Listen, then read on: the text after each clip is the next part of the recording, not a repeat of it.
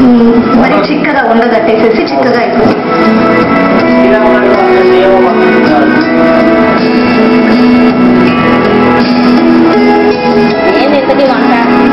అదే పచ్చిశనగపప్పు కూడా పెట్టారు మనం కలిపి అట్టి పెట్టుకున్న బియ్య పిండిని. యాడ్ చేయాలి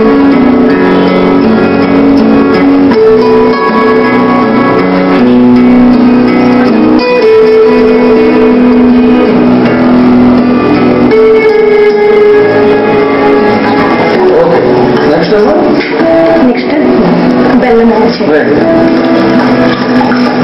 ఈ బెల్లం ఆ బెల్లం. మామూలుగా చిక్కటి బెల్లం నల్ల నురుగు రంగు బెల్లం ఆరోగ్యానికి మంచిది.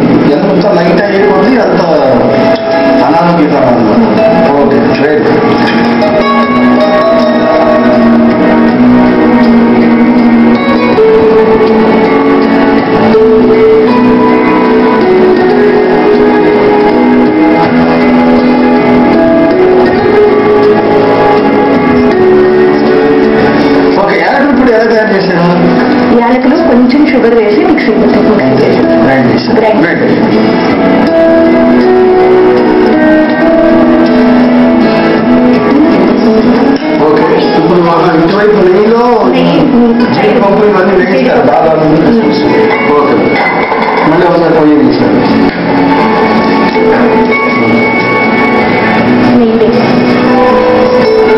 నెయ్యి వాడతారు? ఇంట్లో తయారు చేస్తాం. Okay okay. ఇంకా నెయ్యి కూడా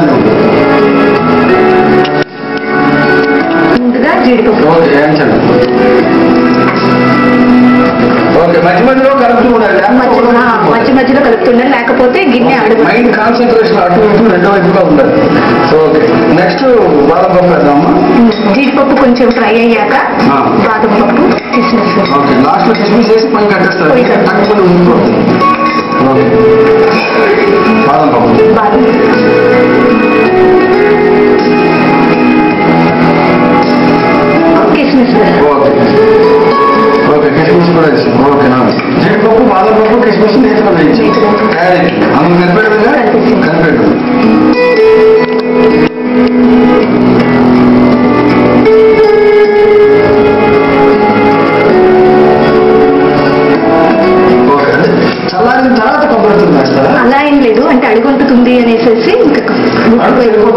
తురుము? పైన పైన జస్ట్ గార్నిషింగ్ కోసం పైన.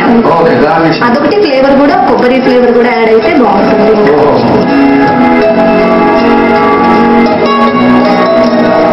శనగపప్పు పాయసం రెడీ అయిపోయింది. ఇప్పుడు టేస్ట్ కోసం కొంచెం తీసుకుంటాం